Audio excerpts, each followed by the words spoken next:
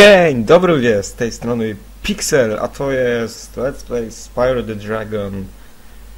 Odcinek trzeci. I tak, przepraszam, za to, że wczoraj nie było filmu, aczkolwiek jak e, ktoś ogląda, e, fu, za, zajrzał na mój kanał wczoraj, to pewnie widział mój post, w którym powiedziałem, że e, nagrałem PlayStation Move Heroes. E, jeżeli, jeżeli nie wiecie o co chodzi, to PlayStation Move Heroes jest to gra, która wymaga PlayStation Move i przy niej się trzeba ruszać, trzeba machać właśnie kontrolerem, dzięki któremu postać nasza się rusza i byłem strasznie potem zmęczony i nie chciało mi się nagrywać. Więc tak, jesteśmy w Magic Crafters, jak to powiedział Kosmos e, i tak, nie mam już co powiedzieć ciekawego na temat tej gry, więc będziemy gadać na filarowe tematy. Więc tak. Pomidorowy już właściwie kończy maraton drugi Crasha. Dokładnie już zrobił połowę, zostało mu jeszcze Crash Nitro Kart. Życzę mu powodzenia z tym, gdyż dla mnie Crash, Crash Nitro Kart jest bardzo trudną grą. Ja jej nie będę robił. E, chyba, że jest kanoniczna, to wtedy mam problem. I po prostu coś będę musiał wymyśleć, ale na pewno nie będzie to live play, nie ma mowy. E, no, więc życzę, Ci powodzenia. E, no i co? No powiem wam, że w Heroes nie, nieźle mi się grało. No było dużo śmiechu, tylko e, jest taki problem, że jestem za wysoki. Serio, jestem za wysoki i muszę jakoś się gimnastykować, aby w ogóle gra jakoś porządnie działała. Więc... E, no, przepraszam, ale jeżeli byście oglądali PlayStation Move Heroes Live Play, to prawdopodobnie cały czas byście słyszeli, jak mam zadyszkę. Gdyż, gdyż po prostu... Gdybym, gdybym tak się gimnastykował i jednocześnie mówił, prawdopodobnie w końcu bym zemdlał, gdyż robiłem tak godzinę, gdyż nie chciałem się przerwać w połowie. Więc teraz nas ten smok uczy, yy, znaczy mówi nam, co to jest supercharge, czyli jak będziemy biegać po tych strzałkach, to Spyro się rozpędzi niczym Sonic the Hedgehog i i będzie leciał, znaczy biegł szybko, bardzo, bardzo szybko. Yy, więc co? Nic. Haha, śmieszne. Haha, śmieszne. Więc niedawno Sega przeprosiła właściwie za swoje e, czyny sprzed 10 lat, czyli e, prawdopodobnie od Shadow the Hedgehog, gdyż większość ludzi, e, ludzi mówi, że jest to e, najgorsza gra z z ery GameCube'owej Sonika. E, ja tak nie uważam, jest to moja ulubiona gra. I Sonika 06, Sonika Boom i no cóż bym mógł powiedzieć, no jestem zdziwiony tym faktem i tylko czekam aż Sega potwierdzi wszystko w związku z e, Soniciem Anniversary, Soniciem dwójką, czy jak to się tam jeszcze nazywa, Sonic Mach 2. Nie wiem. Czekam na to.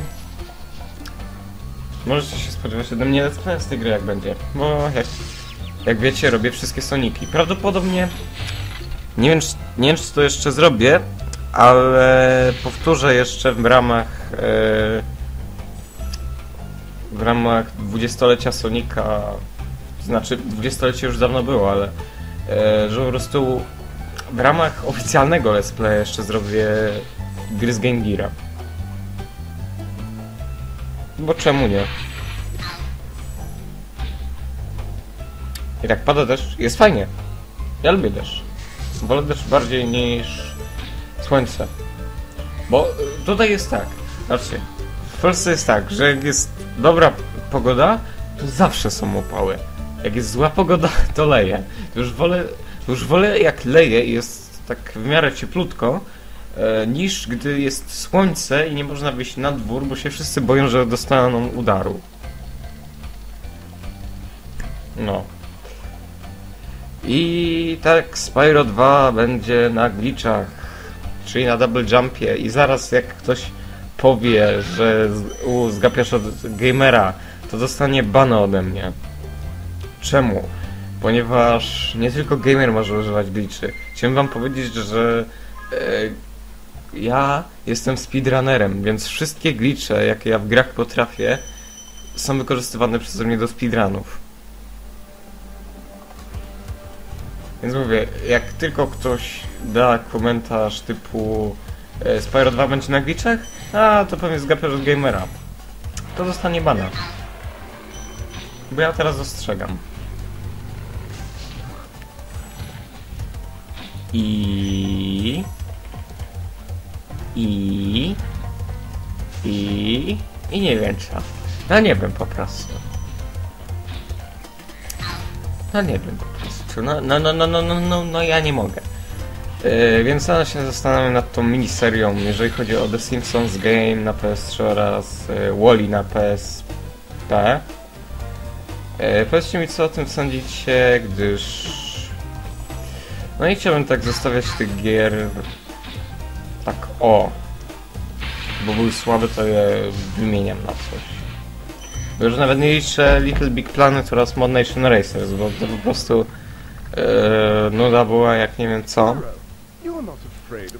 I przynajmniej so, na coś sobie wymienię. Nie wiem jeszcze na co. Prawdopodobnie prawdopodobnie trylogię Sly'a albo trylogię Jacka i Daxtera. Ewentualnie eee, może jakieś Patapony lub Lokoroko. Albo na jakieś Lego, które jeszcze nie mam. To też jest jakiś plan. I ci czarodzieje to są po prostu chamy. Oni są chamami. Nie cierpię ich. Oni tak, oni tak trolują.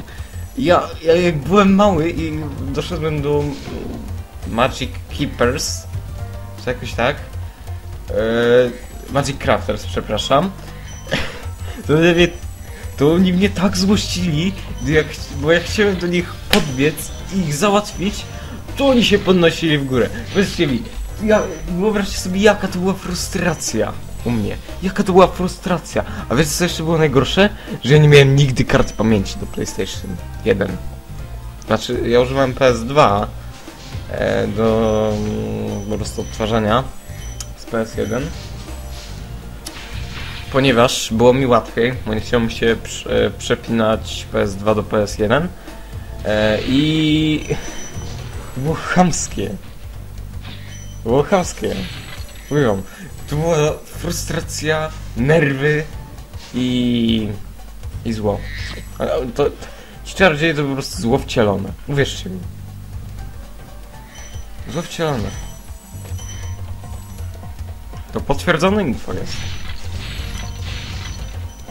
I tak, niedawno się wciągnąłem w grę Hatsune Miku Project Diva. Jeżeli nie wiecie co to jest, to jeżeli jakaś osoba z Was e, grała w OSU, no to jest dokładnie to samo, tylko że to są same piosenki e, wykonywane przez Hatsune Miku i tych jej przyjaciół.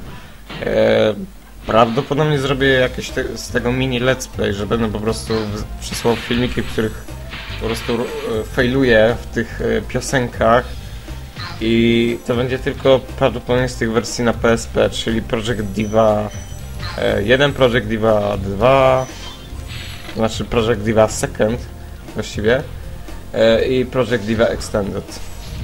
Ja lubię tę grę. No, Może mi powiecie, że ona jest babska, bo to jest kobieta, ale cóż, ja tę grę lubię.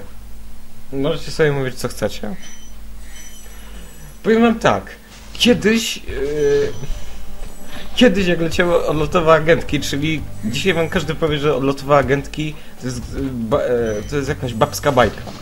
To ja wam powiem, że jak ja byłem mały i leciały po raz pierwszy odlotowe agentki, to każdy je lubił.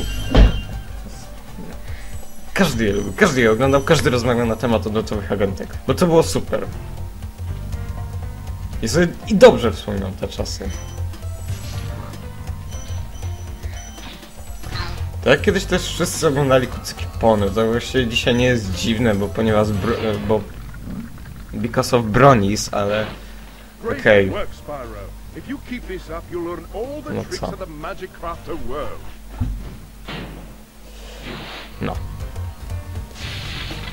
Więc zbieramy kryształy. Jest fajnie. Jest bardzo fajnie.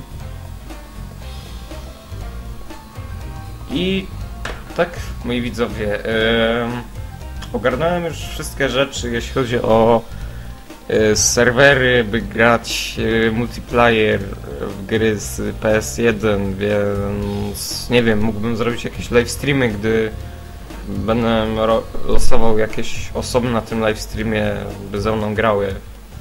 Albo ktoś może się ze mną, nie wiem, umówić na jakąś partyjkę w Crasha Basha albo w Crash Team Racing. Ja, ja, ja jestem chętny do takich rzeczy.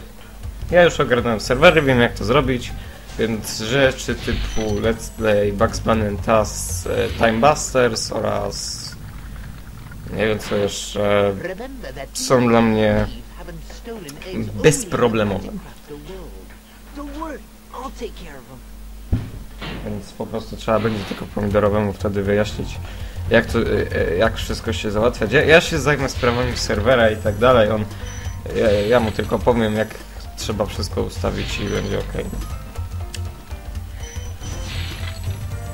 Bo jak, jak, jakby ktoś e, chciał pograć, na przykład, nie wiem, ze swoim bratem czy coś, gra na PS1, a na przykład, nie wiem, brat jest dorosły i mieszka gdzieś już tam hen, hen daleko, to e, bez obawy ludzie e, serwery są darmowe.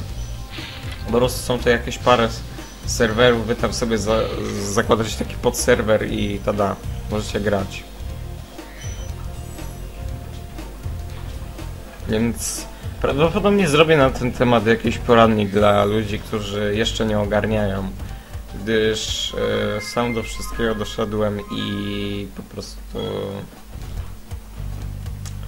no, ktoś, ktoś może nie zrozumieć. Po pierwsze dlatego, że może nie rozumieć języka angielskiego, po drugie e, dlatego, że ludzie, którzy piszą te wszystkie poradniki są, nie wiem, jacyś ułomni czy coś, oczywiście nie obrażam, ale ja nic nie zrozumiałem z tych poradników. Takie mniej więcej rzeczy, ale już sam się jakoś poprowadziłem do tego. Po prostu kombinowałem. Jak doszedłem do tego, po prostu kombinowałem ze wszystkim. Ca cała magia kombinowałem z ustawieniami, ze wszystkimi takimi pierdołami i, i zrobiłem.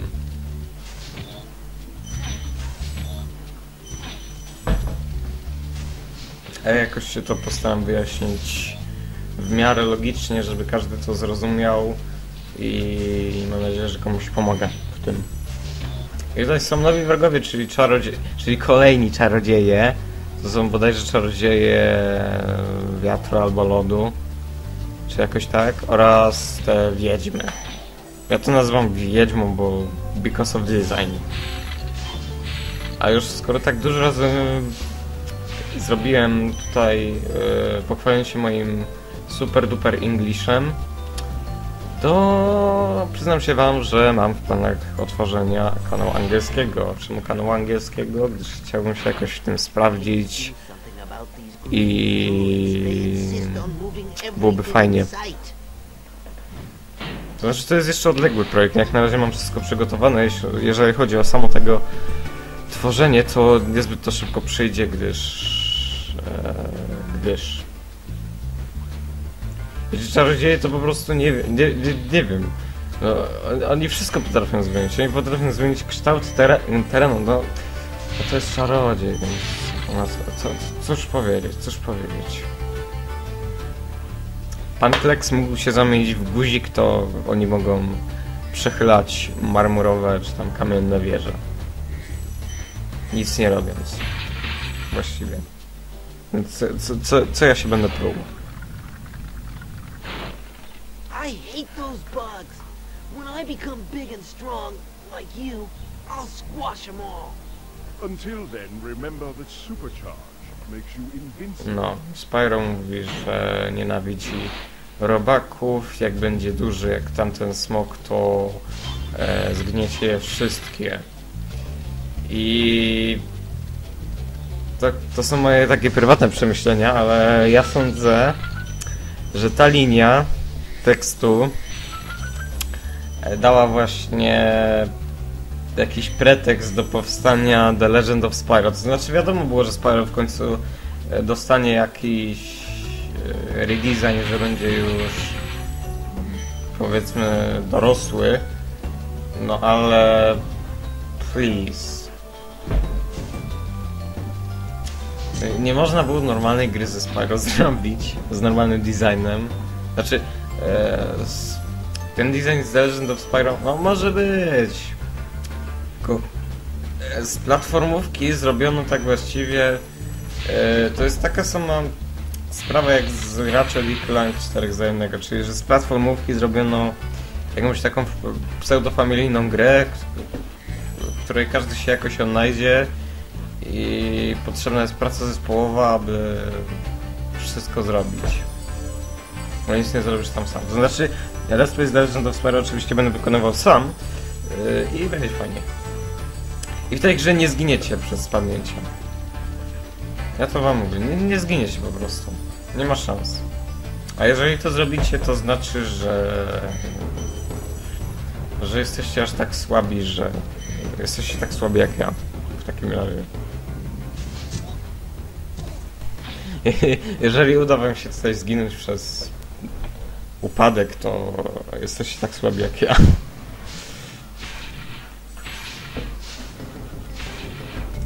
Ja Mówię wam, ja, ja już takie rzeczy wyczyniałem w Spyro, że to aż głowa boli. I nie, nie musicie jak ja wlatywać w te wróżki, aby was tam zaniosły. Po prostu niezależnie gdzie spadniecie, to one i tak was złapią. Chociaż może poza tym okręgiem. Bo nie jestem pewien, czy jak e, wyjdziecie, w sensie, że będziecie poza tymi górami, to też was będą łapały, ale sądzę, że nie. Mam dziwne przeczucia, że jednak nie będą za wami latały. I mam nadzieję, że docenicie moje nowe intro. Tak, dopiero teraz mówię o nowym intro. W połowie odcinka. Jej. Eee, co mnie skłoniło do tego, aby zrobić nowe intro? O, od początku mojego kanału miało być jedno intro do wszystkiego. I... I jakoś cały czas nie, nie mogłem jakoś tego dokonać. Próbował tego nawet Michu, ale też jakoś... To też jakoś mi... Bo to było darmowe intro, no nie mówię, że źle, nie mówię, broń Boże. Ja, ja ci jestem wielce wdzięczny, że...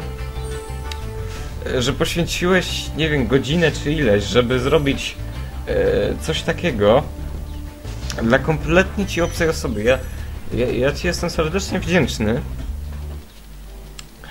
I poświęciłem wczoraj, czyli 12 lipca, e, godzinę na zrobienie na zrobienie filmu. Jakoś nie miałem ochoty na zrobienie e, tego, co dzisiaj widzicie, to zrobiłem o, to zrobiłem intro. I tak, co, co teraz widzieliście przed chwilą, to był czerwony Spyro i ten Spyro się powoduje, że on się tak zarumienia jest super, bo go pocałowała wróżka. Szczerze nig- nigdy nie odkryłem tego, gdy byłem mały. Dopiero wtedy, kiedy e, już jak byłem starszy, to grałem w Spyro. Nigdy tego nie odkryłem, jak byłem mały. Śmieszne. Śmieszne? Śmieszne. Yy, No i po prostu ten, nie wiem, zawstydzenie czy coś? No powiedzmy, że zawstydzenie e, sprawia, że Spyro ma mocniejszy ogień i... znaczy mocniejszy. może to nazwijmy gorętszy. Gorętszy ogień, dzięki któremu e, za, załóżmy, że załóżmy, że skorupy tych pająków i resztę rzeczy, które zobaczycie w przyszłych odcinkach tej serii, są zrobione z metalu. Czyli e, ze stali, przepraszam. Bo z metalu to mogą być te skrzynki metalowe. E, więc e, ze stali jest to zrobione i po prostu to może stopić stal, że tak to powiedzmy. Stopić, zniszczyć. Na, nazwijcie to sobie jak chcecie.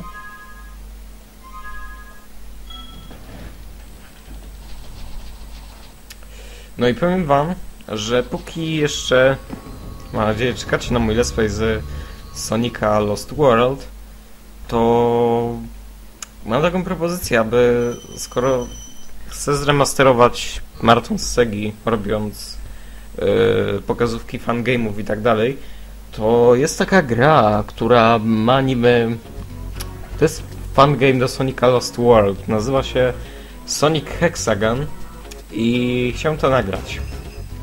Więc to jest taka zapowiedź. Może nie całą grę, ale no powiedzmy, że co najmniej jeden odcinek może z tego wyjść. Więc to jest taka zapowiedź.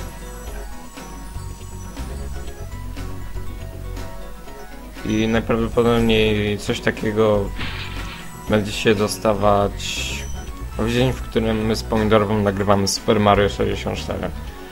Bo...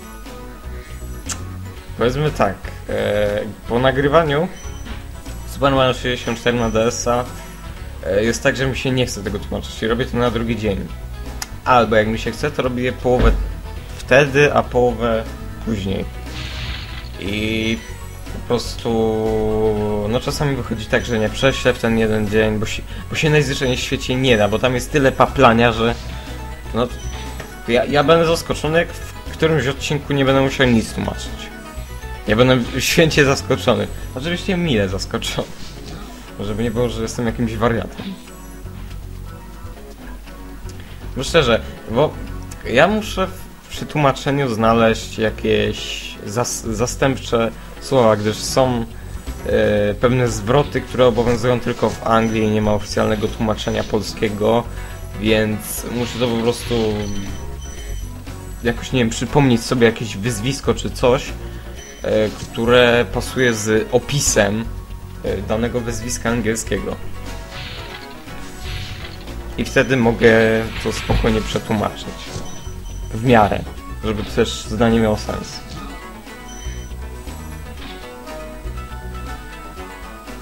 Kto był na live z y, tłumaczenia Mario 64 na DS-a, to wie. Wizard Peaks. This is my favorite supercharged spot. Wizard Pix. Wizards. Nie, niektóre smoki mają e, świetne em, narracje. Mają świetną narrację. Powiedzmy to tak. No cóż, no ja wam powiem, że narracje są różne tych postaci. Na serio są różne, różnie się tego słucha. No. I tutaj są Yeti. Jest fajnie. Jest bardzo fajnie. I te Yeti pozostawiają po sobie... Nie, to Yeti to chyba ci czarodzieje. Yeti albo czarodzieje zostawiają po sobie... Śnieżynki. I te wiedźmy są śmieszne. Szczerze. Zawsze myślałem, że to są kwiatki jakieś. Albo coś. Bo były takie śmieszne. To myślałem, że to są kwiatki. Cóż, jak się jest młodym, to też się jest często głupi. To jest taka mała zasada.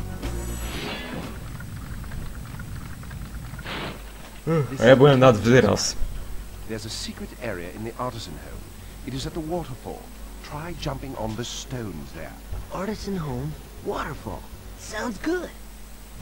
I tu jest chamska, e, chamskie pomaganie e, Anglikom, że jest e, sekretna lokacja powiedziana.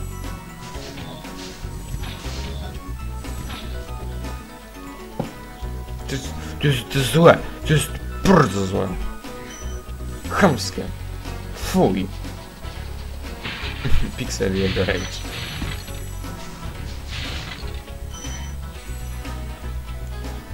Tutaj są różne takie skoki wiary. Ja to tak lubię nazywać skoki wiary, bo nigdy nie wie, nie wiecie e, jak, jak skoczyć. Po prostu e, musicie, musicie liczyć na szczęście. Albo skoczycie dobrze i wam się uda, albo skoczycie źle i wam się nigdy nie uda. Więc to jest taka mała zasada tego. Nie wiem czemu akurat rozpędziłem się z dwóch. To nie miało zbytnio sensu.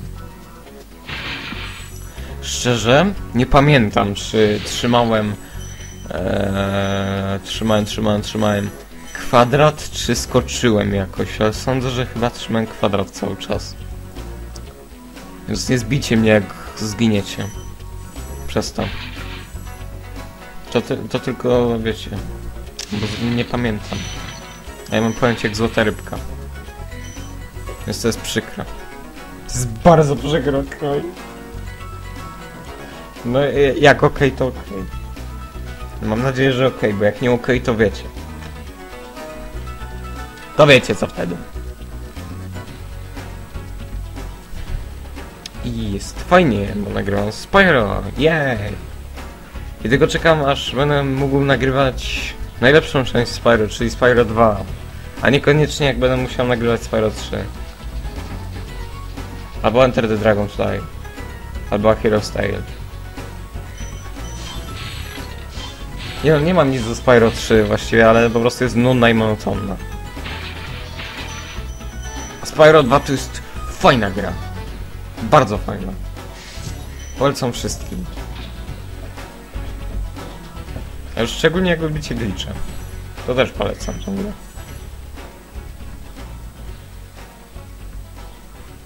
I lecimy. I sru, i fru, i leci. Więc nie wiem, czy wspomniałem, ale portale służą do... w sensie... Tam, gdzie stały te smoki zaklęte w kamień, to... Jest... e, Tfu. Eee, jak na to wejdziecie i poczekacie sekundę, to tam możecie zapisać. To jest jedyna możliwość zapisu w tej grze. Mówię serio. Jeżeli myślicie, że ja żartuję, to sorry. Zniszczyłem wam marzenia. I jest fajnie, bo zaraz będzie koniec poziomu i filmu. Ale smutno się zrobimy teraz. Nikt nie lubi przecież jak jest koniec filmu. Tak samo jak nikt nie lubi jak jest koniec Back to the Future 3. No. Poradzić ludzie, cóż poradzić. Niestety takie są pewne rzeczy.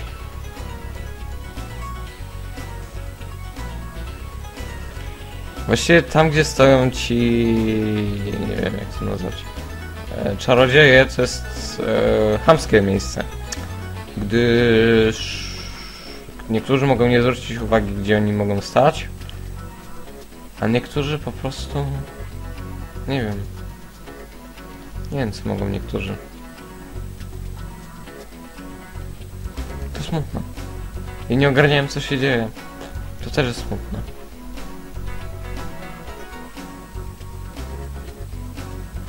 Mówię wam, ja na serio nie ogarniałem, co, co się dzieje i czy ja tam... Nie wiem właściwie, co myślałem podczas nagrywania tego. Że tam nie poleciałem. I glitch! Ta kustka spadła. Właściwie nie wiem, co się z nią stało. Smutne. Ale jak to, ale jak to jest pewne przysłowie, które idealnie tutaj pasuje. Gdyby kuska nie skakała, to by nóżki nie złamała. Perfekcyjne powiedzonko? Perfekcyjne. Zresztą bardziej by się przydało, gdyby kuska nie skakała, to by się nie zgliczowało, ale...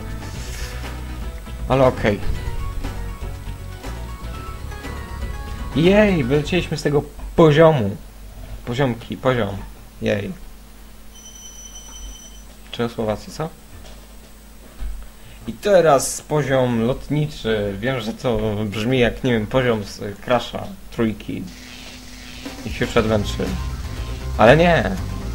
Jest to poziom lotniczy, który jest dobrze przemyślany. Ja mówię, ty- tylko poza pierwszym światem poziomy są w miarę dobrze przemyślane. Żeby każdy wiedział, gdzie lecieć. A inaczej to nie, nie, skądże, nie. Nie, nie, nie. Inaczej to są chamskie tylko poziomy. To jest smutne, smutełka. Bardzo smutełka. Ale mi się łezka do tego zakręciła.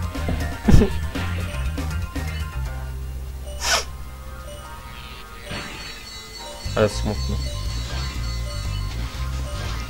I najlepiej róbcie to w takiej kolejności, bo sprawdzałem czy najpierw zrobić e, skrzynki, a później dopiero te samoloty. E, nie. Lepiej tego nie róbcie. Bo skończy wam się czas i będziecie smutni. Będziecie płakać nas najprawdopodobniej. Bo nie zdążycie po prostu dolecieć do tych statków. Do tych samolotów, okej? Oj, tam ja to nazywam statki. No, no, równie dobrze można powiedzieć statek lotniczy. A wy się prujecie mi, że powiedziałem źle. Pixel powiedziałeś źle. Jej, mamy wszystko. Więc cóż mogę powiedzieć? Dzięki wam za oglądanie tego odcinka. Przepraszam jeszcze raz, że wczoraj go nie było. Dzięki za oglądanie. Na razie i cześć.